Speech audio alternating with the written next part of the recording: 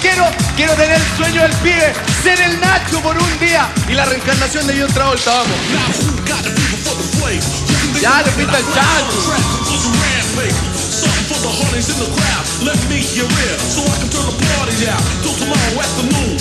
when I my no one leaves the room. A the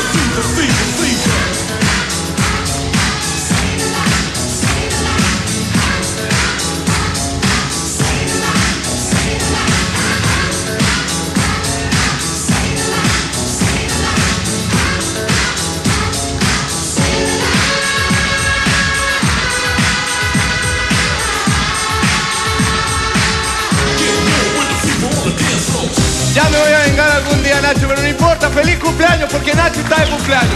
Al César lo que es del César y a Dios lo que es de Dios. Y en el primer lugar lo más lindo.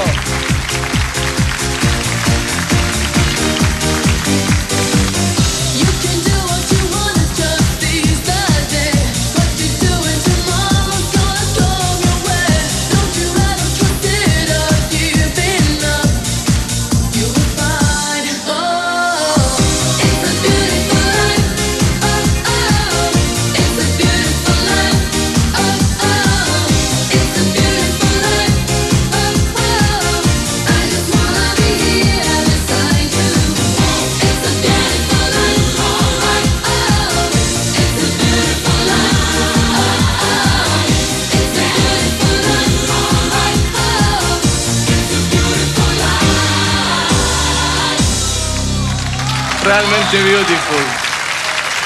Chicle 2 en 1, el chicle con más amigos presenta nuestra generación 95, frutilla, menta, naranja, sandía, plátano, sabores, fuera de serie de chicles 2 en 1. Tanta cosa que hablaba Cristian de, no sé parejas y todo. ¿El amor llegó? ¿Sí? Sí. ¿Sí? ¿Hay alguien pololeando dentro del grupo, no? Eh, no sé. No, si no se ¿Usted puede contar. algo, no? ¿Se puede contar o no, compadre? ¿No? ¿Mejor que no? No. Mejor que no. Ustedes adivinen. Adivinen quién, miren a Cristian nomás. Dicen que dicen que dicen. Muy bien, lo felicito en todo caso, pues, mi hijo. ¿ah? Y lo felicito también te felicito. No es que yo quiera meterme la vida de nadie, pero están bastante bien. Ok, seguimos adelante. Ve que nos estamos atrasando por meterme cosas que no debo. Vamos a la votación. Francisca es la número uno y Bernardita es la número dos. Ustedes tienen que votar. Ahí tienen anotaditos número uno, dos. Elijan uno o dos según quien más les gustó. Uno, reitero, para Francisca. Dos, para Bernardita, para ver quién clasifica para la próxima ronda. A la cuenta de tres votamos. Un, dos, tres. Voten conmigo.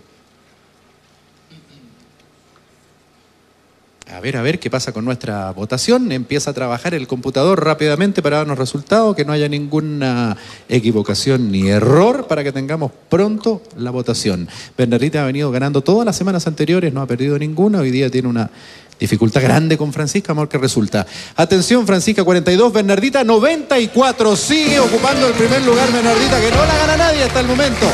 Sigue absolutamente vigente nuestra Bernardita y la próxima semana recibe otra desafiante. Chicle 2 en 1, el chicle con más amigos que ha presentado nuestra generación 95. Mientras todos se abrazan contentos, felices.